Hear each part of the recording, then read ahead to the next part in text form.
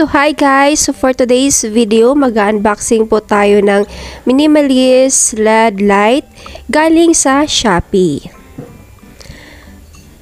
Actually guys, nakita ko itong ilaw na to doon sa clinic ni doktora na pinag-check up pa namin ni Mister.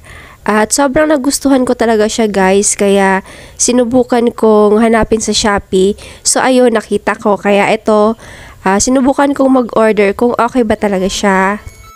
So eto na guys, uh, umpisahan na nating mag-unboxing.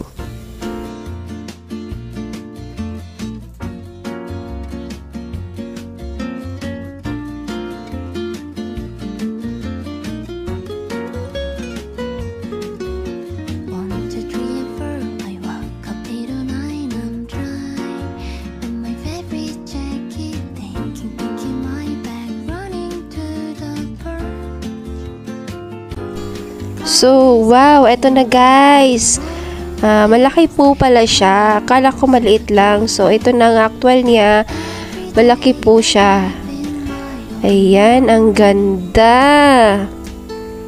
Yan na po ang ating aesthetic LED light. Ayan na po. O, tignan nyo. Ang ganda, ganda. So, ayan, kailangan pa siyang i-assemble or i-check kasi hindi ako marunong neto kaya hintayin natin si uh, Mister para siya ang mag-try na to. So, ayan na guys, sinubukan na ni Mister. So, ayan, nailaw naman lahat. Ayan, uh, tinatry niya kung oh, gumagana. So, ayun po, Success, gumagana po ang ating na-order sa Shopee. So, hindi pala scam ang Shopee. Basta po, basahin nyo yung review or yung mga comment ng mga buyers kung legit ba talaga ang item na o-orderin nyo doon. So, ayan po, legit na legit na ilaw po ang ating minimalist or aesthetic LED light. So, Uh, nabudol na naman po ako ni Shopee guys kasi nga uh, naa-addict ako ngayon sa mga kagamitang pambahay na aesthetic. So ayan po, nabudol na naman ako ni Shopee.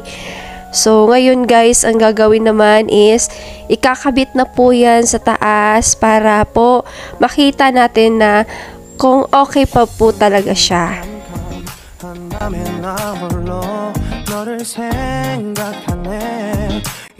So, ayan na siya guys. Naikabit na po. Sobrang ganda po talaga niya. Uh, Napaka-static po ng kanyang kulay at ng kanyang design. So, sa mga nagtatanong po, ang presyo po niya is, nabili ko po siya ng 996 sa Shopee. So, that's all for today's video guys. Don't forget to subscribe my YouTube channel.